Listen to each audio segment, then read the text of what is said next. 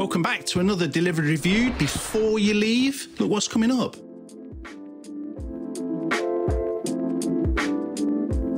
So, as you can see there, what's coming up, and this week we are, I know, back to Burger King, although that's a bit of an old bit of footage there, but still. Um, first of all, welcome to all the new subscribers, and finally, finally, I know it's taken a while, 200 subscribers. I know short videos, food reviews, it's never going to be Mr. Beast, but I appreciate every single person that's subscribed.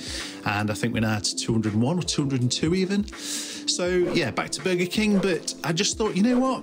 And as a certain hamburger uh, pointed out, that yes, there are a lot of hamburgers in the world, um, but I haven't done, and since it's 200, subscri- 200 subscribers even, um, I haven't done the bacon double cheese XL.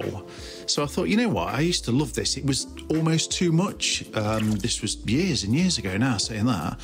Um, so I thought, yeah, I'd go back. Let's try the bacon double cheese XL plus these two others, fries and onion rings.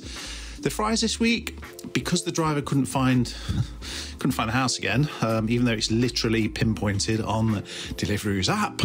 But again, couldn't find it. So the chips, I can't fault them. The chips were good. The box is good, um, but they were just almost on the verge of going cold and, and kind of soft. So the fries were still, you know, semi decent, but they they were verging on going to holes, which was different definitely disappointing, what I was trying to say.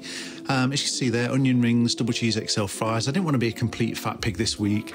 Um, I am actually trying to lose weight as well as doing reviews. So fries you saw a minute ago and onion rings, which were on the last video as the Sharer Box. onion rings are really good. Um, they're nothing over the top. They're, they're nothing, you know, out of this world, but they're like pub, or at least they've got the taste and the smell of, of pub onion rings. Um, not so much deep fried, but with a, a breadcrumb coating. But and it's not actually full onion rings. It's I think it's I don't know what the word is, but processed onion, kind of chopped onion, um, that gets formed into onion rings. But they are quite nice. The sauce that I had there was the, I think it's the, it's, I forget now what it's called, the chili mayo. Um, or spicy mayo, and, and it's quite nice to be fair. It's got quite a bit of a kick to it. It's a bit like a sriracha mayo, um, not quite a Frank's, but either way, and I'm not saying this is a disappointment review, but look, look at that. I mean, advertised versus reality. I remember, I swear, I remember these bacon double cheese XLs being bigger. Like you can see there, it fits into into my four fingers. They they were bigger than I swear they were bigger than that. And the price has gone up, eight pound eighty nine or something, or eight pound forty nine on its own mind blowing. Not really that much bacon that you can see there. There used to be more bacon on them. I'm, I'm, I'm not just saying this. I am hundred percent sure the bacon double cheese XL used to almost nail me. Like you, you couldn't. You were on the last few bites. It was like, this is a lot. The the burgers are thinner. I'm, I'm pretty sure, and the width of the whole burger, or, or you know, in itself with the bun is is, is smaller. I can't, I literally can't prove it because obviously I didn't take a picture. And this was way before COVID. Um, the bacon double, he's like even there, just holding it. I think it's almost like a, a triple cheeseburger from McDonald's, but just slightly bigger.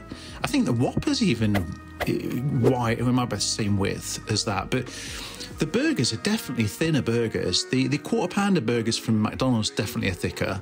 So it's just it's shrinkflation again as well. It, you know, it's a nice burger, and if you want something substantial, it's definitely substantial, but it just is. I'm sure it isn't what it used to be.